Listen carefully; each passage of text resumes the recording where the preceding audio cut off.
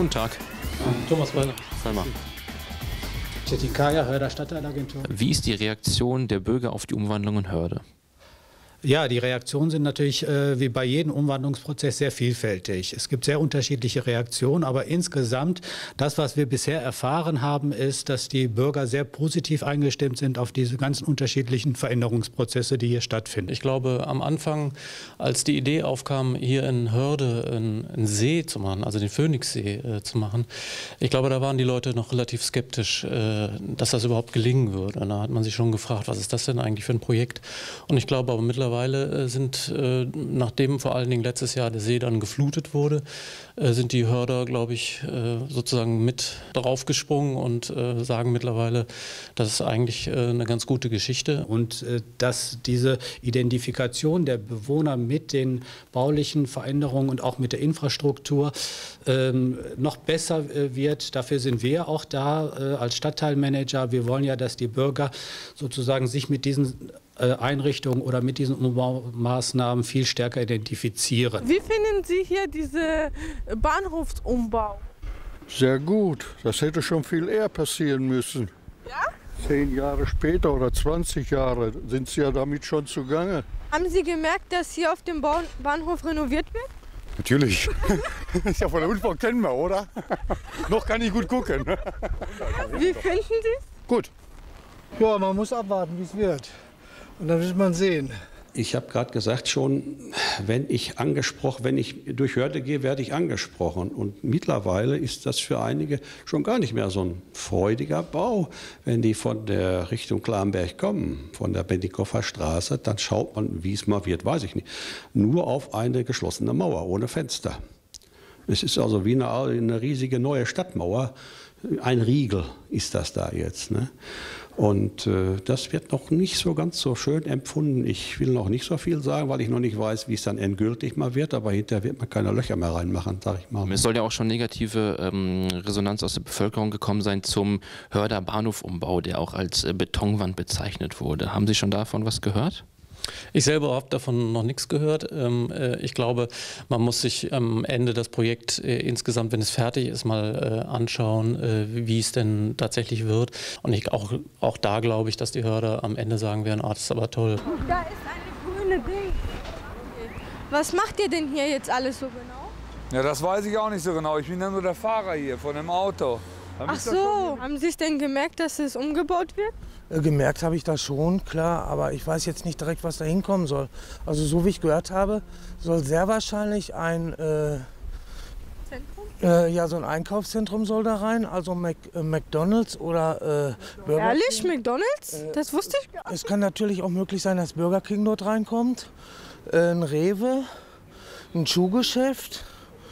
Ja, obendrauf soll, glaube ich, das Parkhaus kommen, weil, weil da hinten am Baumarkt, das soll weg.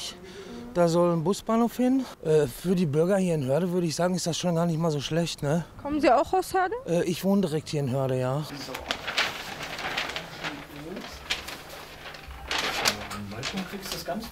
Hier ist dieses neue Gebäude, in dem der Bahnhof Hörde auch integriert ist. Neben dem Bahnhof und U-Bahn-Zugang werden ja verschiedene kleinere Läden im Erdgeschoss eingerichtet. Äh, so eine Fastfood-Kette, ein Drogeriemarkt, ich glaube ein Kiosk, so kleinere Einrichtungen. Dann gibt es in der zweiten Ebene ein Parkdeck und darüber dann ein neuer großer Rewe-Laden. Auch da ein Glücksfall, dass ein Investor gekommen ist, der diese gesamte Fläche bebauen wird. Wann ist das so genau fertig, so ungefähr? Er wird im Juni will er eröffnen und dann lassen wir uns mal überraschen. Wie finden Sie denn den ganzen Bau hier? Ach, den Umbau finde ich ganz gut. Vorher war es ja, ich sag mal auf Deutsch gesagt, kein Bahnhof für mich. Ich bin immer hier vorbeigefahren und dann habe ich immer gesagt, was ist? Da sagte mein Chef, wo ist denn der Bahnhof? Ich habe den, den, Laden am Bahnhof. Wo ist denn der Bahnhof? Bin immer vorbeigefahren. Für mich war das eine Pommesbude. Und heute finde ich den gut. Erstmal. Äh, wissen Sie auch, dass hier ein Zentrum gebaut wird? Ja, weiß ich auch. Da kommt Rewe rein, da kommt McDonalds rein. Burger King. Oh, Burger King, ja. Die Geschichte ist gut, dass hier was passiert, dass hier auch es aufwärts geht, dass große Geschäfte hier hinkommen, dass hier richtig mal Leben hinkommt. Das finde ich schon in Ordnung. Aber äh, da bin ich ein bisschen äh, gespalten, muss ich sagen. Auch als ich mir die Planung angesehen habe, verfolgt aber mit der Straßenführung. Erst wollte man einen Busbahnhof machen. Das geht ja wohl jetzt wegen dieses Bahnhofs, Bahnhofsgebäudes, sage ich mal als Laie, nicht mehr.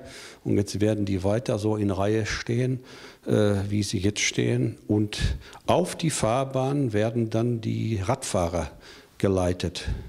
Also da schüttelt sich so ein bisschen, ich bin Autofahrer und Radfahrer. Hier kommen drei Bundesbahnlinien, 13 Buslinien, drei Nachtexpresslinien und die U-Bahn zusammen. Das ist der größte Haltepunkt im Dortmunder Stadtgebiet. Deswegen haben wir vor, eine durchgehende Busspur einzurichten mit verschiedenen Haltepositionen. Damit werden die Wege kürzer und ein Kreisverkehr, wo dieses neue Gebäude angeschlossen ist dass der Fußgänger dann gehen kann, wenn er möchte. erst durch die Zebrastreifen bevorrechtigt und dass wir insgesamt nur noch dann 30 km/h zulassen.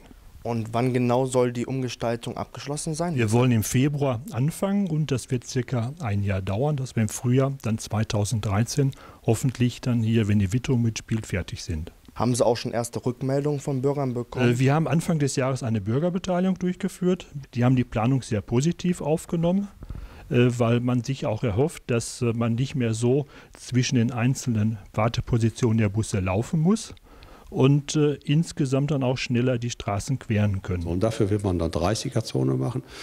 Ob es eine Lösung ist, weiß ich nicht. Hier 1927 hatte man mal ganz was Tolles vor. Äh, der Plan stammt aus der Zeit, so sollte der Bahnhof einmal aussehen. Aber das ist nie verwirklicht worden. Ganz im Gegenteil, im Krieg hat er dann einen Treffer bekommen und dann hat man hier Nägel mit Köpfen gemacht und hat eine ganz abgebrochen. Das ist jetzt hier aus den 50ern die Abbruchzeit von der Bahnhofstraße aus. Phoenixsee. Ähm, was war an der Stelle des Phoenixsee, bevor dort der See eben angelegt wurde? Ja, das war ja dieses riesengroße Werk, fing klein an, 1840 mit dem Hermann Dietrich Piepenstock, der eine kleine Hütte da erst gebaut hat und die ja eine Erfolgsgeschichte war, die expandiert ist. Und äh, 1963 machen wir den Sprung mal schon. Äh, da war dann dieses große Oxygenstahlwerk, was da gestanden hat bis zuletzt. Und da haben alle gemeint, jetzt ist die Werkszukunft gerettet. Hier unten ist unsere Burg, und dahinter ist ja praktisch jetzt das Hafenbecken und dieses war jetzt das Oxygenstahlwerk in den 60er Jahren etwa. Und äh, hier 98 Hektar war die große Werksfläche. Darin ist jetzt 24 Hektar äh, Seefläche entstanden und hier rundherum in dem Bereich hat die ganze Wohnbebauung statt oder findet da noch statt. 2001 war ja dann die Stilllegung mit Tränen in den Augen bei den Arbeitern. Ich war da auch eingeladen zu der Stilllegungsgeschichte und das war schon ein bisschen, man konnte es nicht glauben, als sie dann mit dem See, mit der Planung anfingen. Da haben viele auch gesagt, die spinnen, das wird nie was. Ne, das war ja tatsächlich so. Ich habe auch ein bisschen bedenklich geschaut, weil man wusste, was da für Untergründe sind, für Fundamente und so weiter. Hier oben äh, standen die Hochöfen, da wurde der Stahl, das Roheisen geschmolzen aus Erz und Koks mit einer offenen Bahn, offenen Mulde hier rübergefahren mit dem feurigen Elias und hier dann veredelt. Aus Roheisen wurde da Rohstahl. Dann kam die Erfindung dieser Thomasbirne, dieses großen Gerätes, da wurde dann das Roheisen vom Hochofen kommend reingeschüttet, von unten Luft durchgeblasen. Da waren das die Fachleute, die sahen dann an der Verfärbung, wann es dann gut war. Dann schwamm oben dann die Schlacker drauf und unten war dann das Roheisen drin. Und das wurde dann hier abgegossen in Kokillen. Das waren dann hinterher Blöcke, die man wieder heiß machte, um daraus Bleche zu walzen oder was zu schmieden. Oben ist ein altes Banner, so hieß es mal, Dortmund-Hörder Hüttenunion. An jedem Tor hingen dann diese Stechuhren, diese Stempeluhren. Jeder hatte seine Karte mit Namen, Monat und so weiter drauf. Beim Ausgang musste dann wieder gestempelt werden. Ich kam eine Viertelstunde zu spät, dann kriegt er die auch ab, also fünf Minuten, dann kriegt er schon eine Viertelstunde abgezogen. Da, ne? Das waren hier die tollsten äh, Produkte, die hier für meine Begriffe hergestellt wurden, Schiffskurbelwellen. Äh, Schiffsbleche gab es ja hier, Anker wurden hier, ein eigenes Patent für Kippanker gab es hier und das waren die Schiffskurbelwellen zwölf und noch mehr Meter lang und die auf ein Hundertstel Millimeter stimmte das, um die Kolben, um die Schiffshübe da zu bewegen. Das war für mich also fantastisch. Aber das ist leider dann aufgegeben worden, äh, als man dieses Oxygenstahlwerk nur noch die dicken Sachen da praktisch gemacht hat.